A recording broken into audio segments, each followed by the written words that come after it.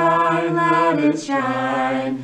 Hide it under a basket. No, I'm gonna let it shine. Hide it under a basket. No, I'm gonna let it shine, let it shine, let it shine, let it shine. Share my light with others. Yes, I'm gonna let it shine. Share my light with others. Yes, I'm gonna let it shine let it shine, let it shine, let it shine.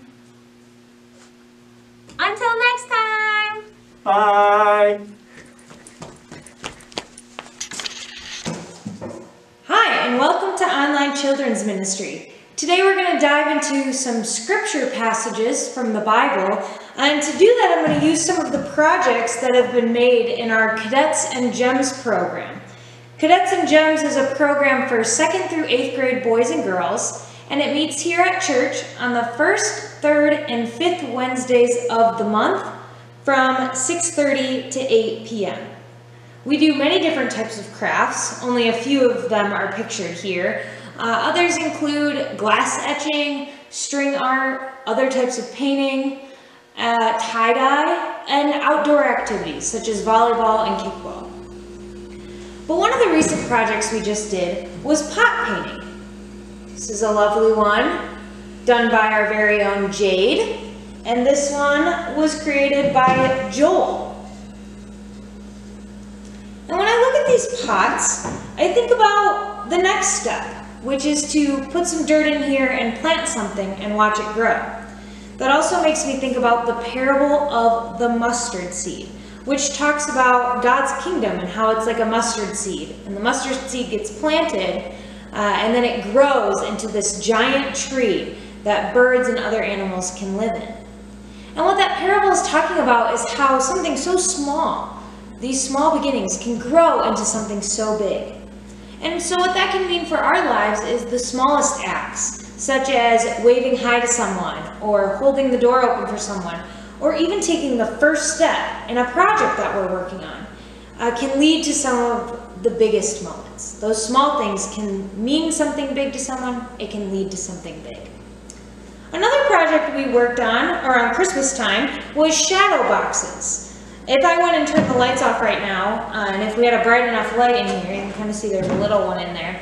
Um, these images of the tree, the angel, the star, and the snowman would cast shadows onto the walls. That's why it's called the shadow box.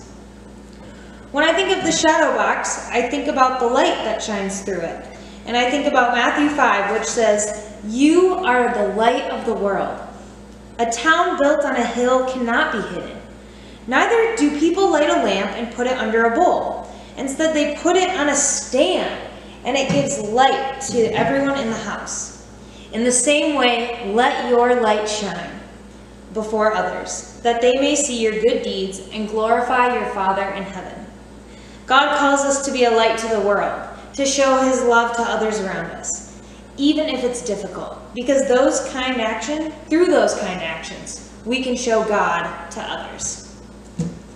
Finally, every year we create derby cars that we get to race. Some of these we didn't get to finish last year, so they don't have wheels yet, but you can see the different designs that people have created in the past.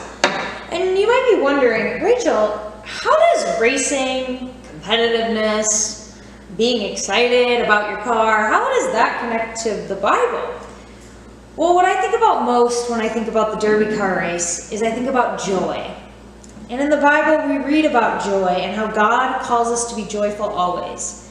In 1 Thessalonians 5, we read, Rejoice always, pray continually, give thanks in all circumstances, for this is God's will for you in Christ Jesus. And so the smiles, the laughs, the excitement, the joy that radiates from one person to another when doing activities that bring you joy are showing God to those around you. I hope that you remember these projects during this week. Remember the pot and the mustard seed and how the small little beginnings or the small moments can lead to something big. Remember the shadow boxes and let your light shine this week to show God to others. And finally, remember the, car, the joy of the derby car. And my hope and prayer is that you find something to do this week that brings you joy. Until next time.